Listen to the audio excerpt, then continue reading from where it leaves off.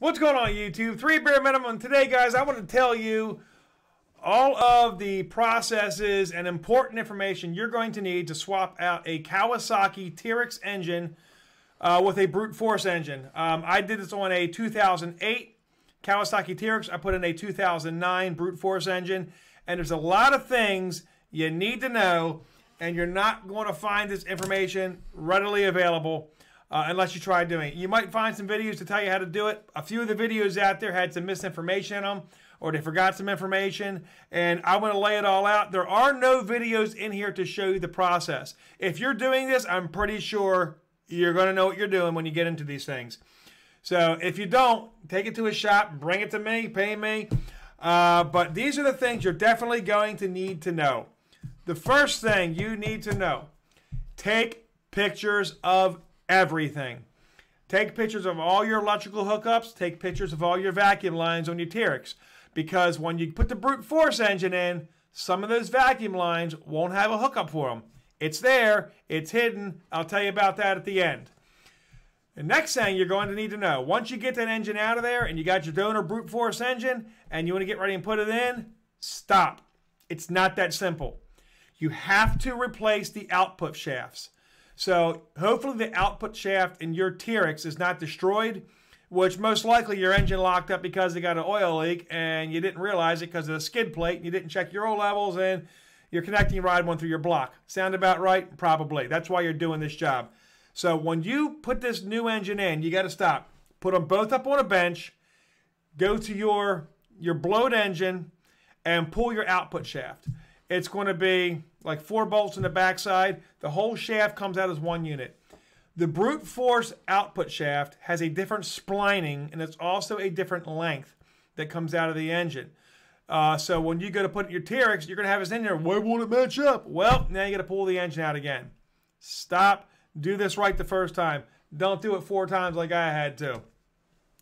The second thing you need to know is if you get a brute force engine you're going to need to use your Kawasaki Teryx uh, cover, and you're also going to need to use a set of the brute force clutches. Uh, why? Because the cover is slightly larger on the brute force, and it's going to rub when it gets in there. And if you use the the Teryx clutches on the brute force engine and try putting the Teryx cover on, the clutches are going to hit and you're not going to be able to get it on. So you get a set of brute force clutches. They're slightly sh shallower. Um, and when you do do this, make sure you get get the uh, the spring upgrade on your primary clutch.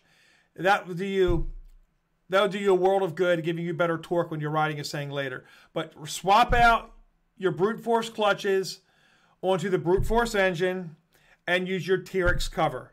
That's one of the things you're going to do. Also, when you swap out your output shaft, it's very important you also swap the bevel gear. The bevel gear on the Brute Force has, I think it's 10 splines. Um, and the one on the Teryx has 11. Uh, but anyway, you need it's a matched pair. So on your Teryx engine, pull out the bevel gear and pull out the output shaft. Put those into your brute force. And also, most of your of your uh, brute force engines are EFI. Your Teryx is carbureted, so it's a completely different firing that's going to go on here. So you're going to need to pull out your stator and pickup coil. On the Teryx, it's going to have like two magnets on the stator. On the brute force, it has 12. So you're going to need to replace the the pickup coil and the stator, or stator or your rotor, or whatever you want to call it.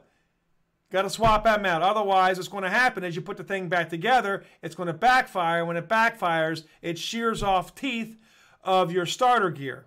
That's the other thing. If this thing has ever backfired to brute force, um, make sure you do pull that cover anyway and inspect the teeth on the starter gear. If even one are missing, which is a very common problem with those engines, when you start it, you go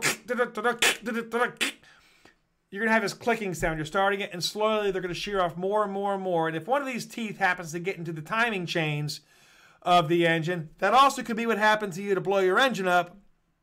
It's going to be another problem going down the road. So make sure you check the, te the teeth on your starter gear. Uh, that's not very hard to pull out. Once you have off your your stator, it's very easy just go ahead and pull that gear right off and replace it. You can find them online for like $35. Just swap it out. If you can get the upgrade, if you can you can get the 2012 uh, Teryx gear will work in there as well. And it's about a millimeter wider and it just fits right in there, perfectly smooth. That's what I did, upgrade it. And when you put everything back together, you're going to notice that two vacuum lines don't hook up.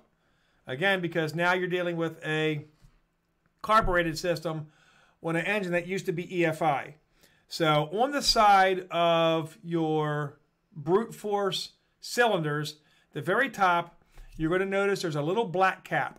Pull that black cap off, hook your vacuum line up. Do that on both sides of the engine, and that should take care of 99.9% of your problems. The other problem is going to be busting your ass to get the thing in and out of there. I highly recommend dropping off the uh, the pan underneath to get it out. The you're gonna need to drop off your muffler. Um, that'll make yourself world a whole lot easier. And you're also going to probably want to take out your seat belts as well. Uh, at least the, the one holder um, on the inside of the engine. Make it a lot easier. Buy yourself a bag and a little those push nuts to hook everything back together. You can get a hundred of them for like 12 bucks off the Amazons. And that will pretty much wrap up the job. But the biggest things you got to remember, output shaft, bevel gear, clutches, stator and pickup coil, and your vacuum line caps. Once you have all that, fire it up, head on down the road. Leave me a comment below if you have any questions. If you got any comments, concerns, if you think I, met, I left anything out, let me know. But I did this job several times on one vehicle. And uh, yeah, I figured I'd put this video out to tell you guys this is all the information. Three Beer Minimum, I'm out.